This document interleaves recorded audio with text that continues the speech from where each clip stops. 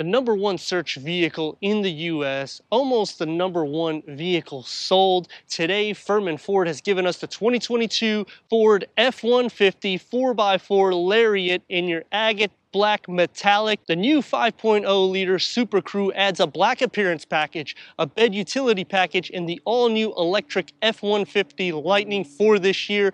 But before we get into all electric, we still pack the Coyote performance. The interior is going to be full luxury because of the Lariat package that packs practical and work or everyday use with rivals like your Ram, your Titan, your Silverado. The list goes on and on, but everyone knows what an F-150 is, especially when it comes to that Coyote exhaust that comes out of the back. I'm Anthony from Hawkeye Rides, and we're gonna go over all the specs and details starting now.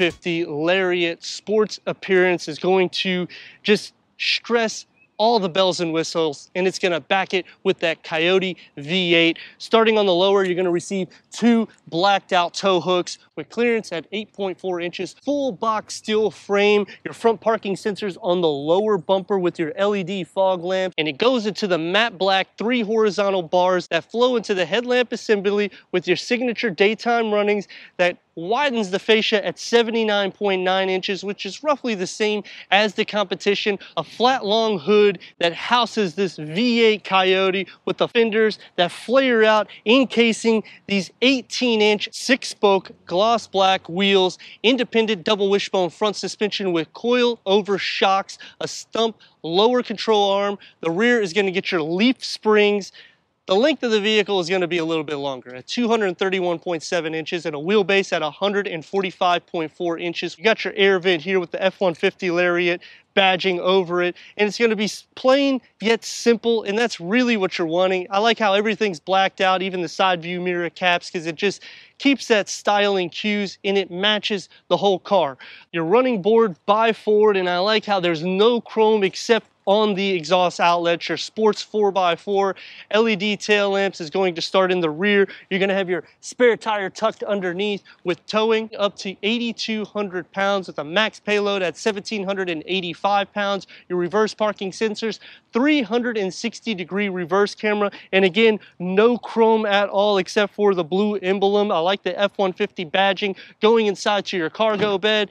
It's going to be the soft to open with a length that's 67.1 inches between the wheel well housing at 51.1 inches, a height of 21.4 inches, giving us a total cargo at 62.3 cubic feet. But you know, this is the V8 Coyote. We have to hear that signature exhaust note.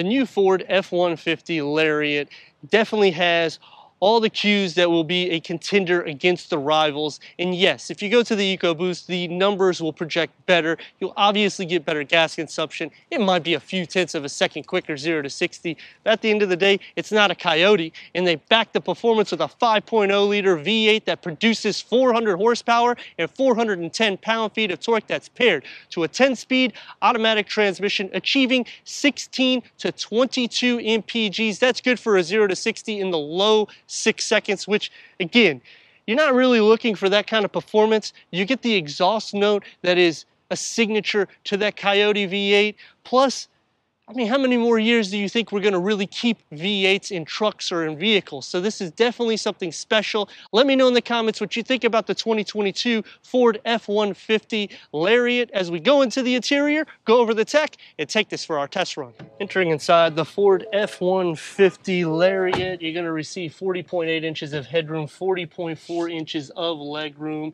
They're bucket front seats, black leather with contrast piping and stitching perforated, 10-way power adjustment for the front seats and 3-way memory for the driver. So I do like the setup so far.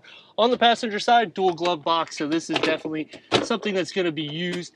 That dashboard is going to have this brush metal through the whole trim and it's going to wrap around into that maroon with the contrast stitching on the top. You got your B&O sound system with a huge storage tray up here that's above this upgraded 12 inch touchscreen with your navigation. So you have the pinch, you have the swipe, it has your Apple CarPlay, Android Auto, Sirius XM, Bluetooth connectivity, Amazon Alexa, Wi-Fi hotspot, streaming Bluetooth audio, a nice thing is you also have this screen here on the side so you can have two different screens going on at the same time and you can see what's inside your bed for the bed camera. When you click onto there you can see some of my junk I have and you can also see the zone lighting around it which is cool for camping. When you click into the features you do have your towing which is a really nice feature.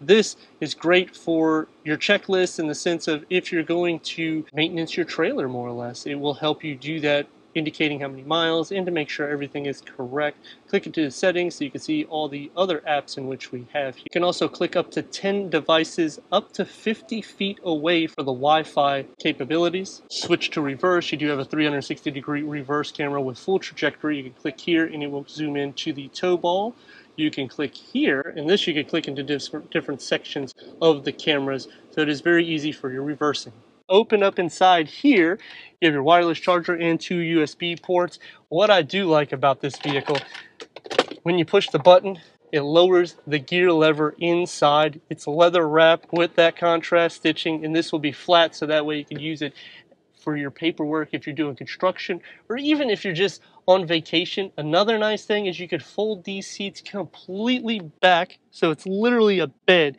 So if you are doing any traveling, this is one of the only trucks that you could fold it all the way back like that. It is crazy.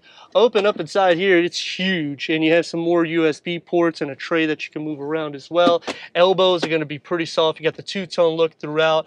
The steering wheel's multi-function. The gauge cluster is digital, which is going to be better than the Ram because it's a digital readout. And you can go through an array of information you can also do the trailering here so you don't have to go into your infotainment screen. You can do your navigation. The nice thing about this is every single thing is basically right in front of you so it is very up to date the door panel you're going to get some harder materials that's going to be on the top one touch up and down for the windows you get this brush metal memory seats for the driver a storage tray there your B&O upgraded sound system and more storage that you can fit I don't know, maybe 10, 16.9 ounce water bottles. I mean, you do sit very comfortable, a large panoramic moonroof that goes all the way to the back seats. Let's see how I look back there. For the back seats, I'm at 40.4 inches of headroom, 43.6 inches of legroom. I have a lot of space. In any of the trucks you go with, you're gonna have a lot. Comfort in this is really good. The way the seat is, it's more flat designed, which is gonna be good when I'm sitting in the center. You can fold these up at a 60-40 flat bottom. You're gonna have a home plug, two USB plugs, a 12 volt, heated seats, your rear vents, more cup holders in the center, storage behind both of the front seats. And like I said, the pano comes all the way back. It's pretty much where it should be. In the center, you can fit about a 20 ounce, maybe a 32. It's not too bad in that. For the door panel, you're gonna have some harder materials on the top. You get your one touch up and down, cup holder in the top, another storage tray, B&O sound system with a massive storage on the lower trim. So you're taking care of full capacity of storage and room. Let's see how I look in the center. Sitting into the center, you actually sit down more so than you do on the sides. Headroom, not an issue. Legroom, the same thing. Not really blocking anything in the center. I have my own areas that I can put storage, plus I have storage behind the front seat. A lot of space in this one, and I do like how you sit down. The back, though, does push out a little bit, but it's not really uncomfortable. It actually will be a pretty decent ride, even if you're going on a long journey. And when you get these trucks, they're literally like SUVs, and I say it in every single review because you have so much space. The only thing you'd be really missing is entertainment. But at the end of the day, everybody has their own tablet or iPhone or Android, and you got plenty of charging ports for pretty much everybody back here, plus heated seats so you can relax on that long journey. Taking the 2022 Ford F-150 V8 out for our test run. This is the Coyote engine, and yes, the performance is not going to be as good as the EcoBoost in the sense of you can get a little bit more done with that one. However, this is a unique engine. You buy this particular vehicle because of the sound that you get out of it. You buy it because it's a V8, naturally aspirated. I mean, these are really the main reasons why you want this. And it's to the point where nowadays it's hard to get these type of vehicles. As for the visibility on the F-150, you can see pretty well. The suspension, it holds itself pretty comfortable. Only thing that I wish is that I could hear that exhaust note a little bit more. Maybe they threw in another exhaust pipe so that way it would just look a little bit more sporty. But for the most part, I mean, this is an everyday, a practical vehicle. When you get into the V8, the practicality does go a little bit lower, but I mean, it is what it is. You pay for what you get, and here we go.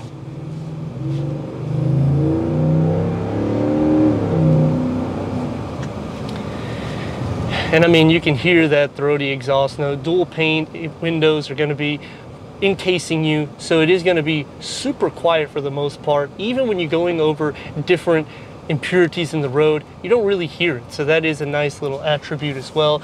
Even though it's a long vehicle, you can see everything. So that does help it as well. So if you do need to maneuver in and out, you can do so with it. Obviously, you're gonna have to be a little bit careful. It is definitely a great alternative to a Ram Hemi, to a Silverado, to a Nissan Titan in which they have these big V8 engines in them. Brakes to show you some braking on it pretty much stop on a dime. I mean, it's a larger truck, it's heavy, so don't go crazy, obviously. Now, there is three things I like and three things that I dislike. Is anything more than that, I'd be buying this vehicle. The three things that I like, obviously, you already know that Coyote V8. It is something that when you drive this particular vehicle, and I do recommend people test drive it so that way you can see it's great. Because look,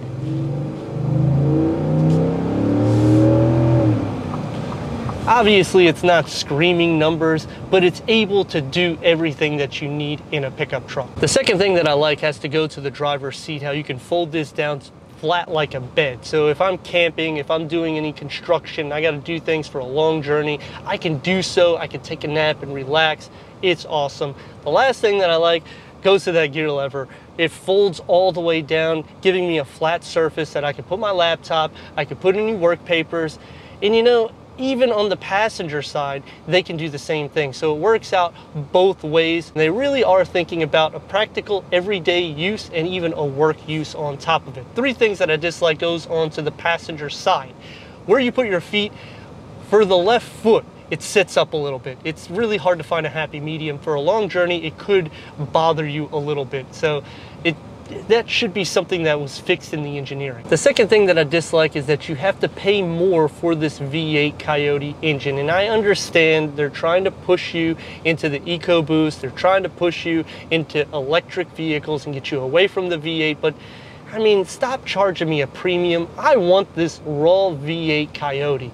The last thing that I dislike, even though I want it, it's not the best in performance. And I dislike that because when you get into this tier and you have this much horsepower and torque, 400 horsepower is quite a bit.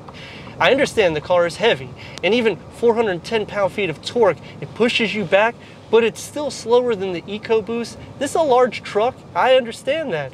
But when you're putting that engine, give me more performance. Give her a little go.